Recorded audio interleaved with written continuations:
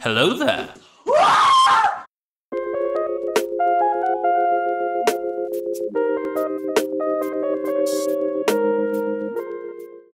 Hi there, everybody. My name is Jessica Trznadel. Um, I've worked with VFR since season one. I've been an actor, board member, stage manager, and director. And I recently directed the play Hand to God by Robert Askins, and I was also the puppet designer for the production. So today I am going to talk to you about getting started making your very own puppets. Uh, and going into Hand to God, uh, I didn't have any experience working with puppets or creating them. Um, so I started off, I went into it thinking that I was going to find someone else to design them.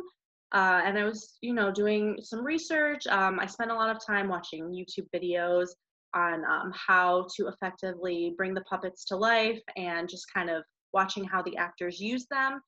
And then I did another show and I met an actor named Bill Olson. He works with Angry Young Men, which is a local theater group that does puppet shows and he got me started with the tools to make my own puppets. So I decided to take a stab at it and design the puppets myself. Uh, so I'm talking to you today as a total beginner. Um, I've only ever made puppets for this show, and I still have a lot to learn myself. Um, but if you want to get started and try to make your own puppet, I'm it's totally possible, and I'm going to give you the tools to get started. Uh, so the first thing that you're going to want to do, like any member of any production, is just read the play, just to read it. Uh, do a read through, just enjoying it, learning about the characters, letting it affect you. Um, and then go back and read it again, read it a few more times, uh, and think about the puppets themselves. Some questions you want to ask yourself is uh, what are the puppets' characterizations? What are their personalities? how are the actors going to use them how are they going to need to move uh, what materials might you want to use and uh, once you started to think about these things uh, you can start finding your patterns and your materials so the pattern that i used was the roly puppet pattern from a website called project puppet uh, so on their website you can browse uh, they have several different patterns and uh, if none of those are for you, uh, there are other websites with patterns that was just um, the one I found was just kind of like um, a standard kind of like Muppety look that I really liked and I thought fit the show. Um, so depending on your production, you can choose between a bunch of different patterns. Um, then after that, you're going to want to think about what materials you want to use. Hand to God uh, was set in the in like a classroom in a church basement. The characters were teenagers. So for my materials i used brightly colored fabrics. I used yarn for the hair ping pong balls um, just things that you might find in a classroom setting. Now if we're thinking of our theoretical production of hamlet where maybe the the players would use puppets in the players scene um, as part of the the play within a play and uh, so in our production, it's set in 9th century uh, Denmark, uh, Viking type characters. So you uh, would definitely want to research what materials they might have available to them. Uh, maybe instead of bright colors, you would use more muted colors uh, of like wools or linens. so your design concept is really going to inform how how your puppets look and what materials that you use. Uh, so right now I'm going to go into a list of all the materials that I used for my puppets.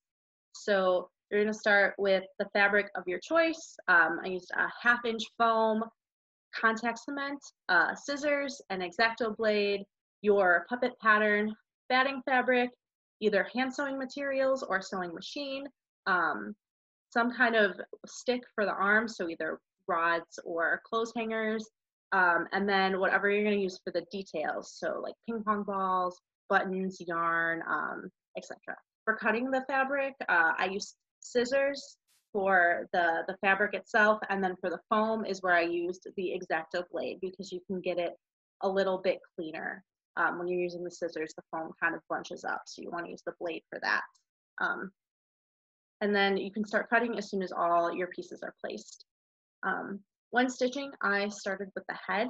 I did my stitching by hand. If you have access to a sewing machine, that might go a little bit faster because hand stitching can get very tedious. Um, so I'm going to show you. So I took my leftover fabric from uh, Jolene and Tyrone, and I made, so this is what a head would look like without any of the, the foam or the detailing. So as you can see, like we got the, like it's all sewn up here, across, and this way. Um, and then you have the mouth area is open, and then this area where it's gonna connect to the body is also open. Um, and so I'm also gonna show you a completed head. So this is Tyrone's first head that he has at the beginning of the show um, and a little behind the scenes fun fact. So the reason that he's not connected to a body is because there's a scene uh, where Jason rips his head off and then he comes back all scary with teeth.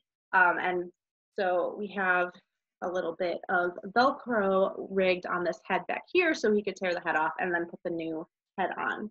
Um, so this is the completed first head um, with all the detailing and everything.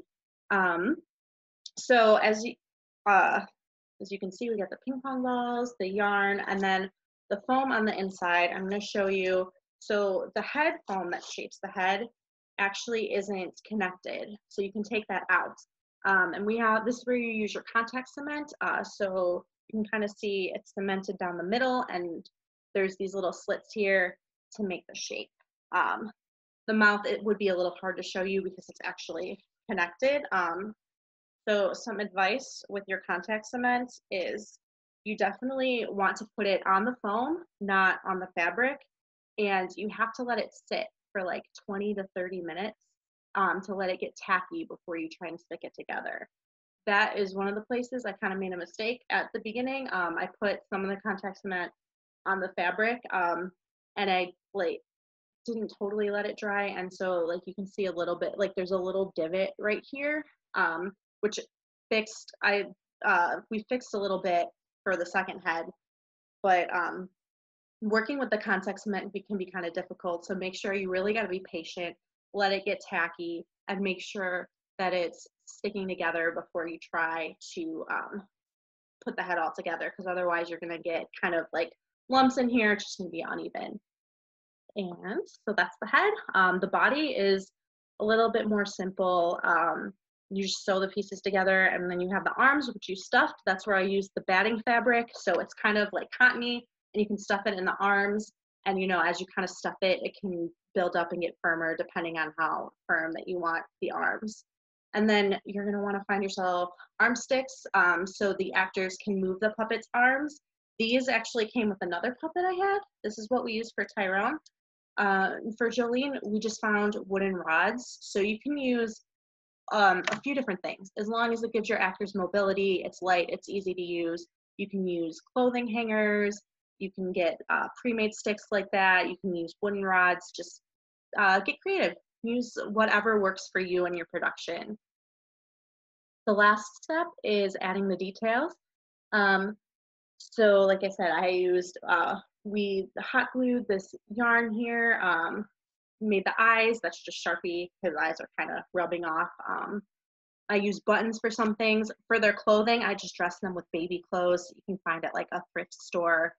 Um, and when it comes to making puppets, there there's no hard and fast rules. Uh, do what works for you. Uh, get creative. You know, um, every production is going to be different, so allow yourself to have fun with it. You know, watch videos on YouTube, see what other people have used, um, and then my biggest piece of advice with creating your puppets, especially if it's your first time, is definitely to be patient, take your time, and plan everything.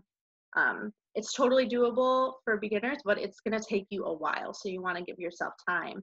Um, and definitely allow yourself time for mistakes too. I know at first I was, you know, really anxious to see how everything was going to look, especially I was because I was making three different heads.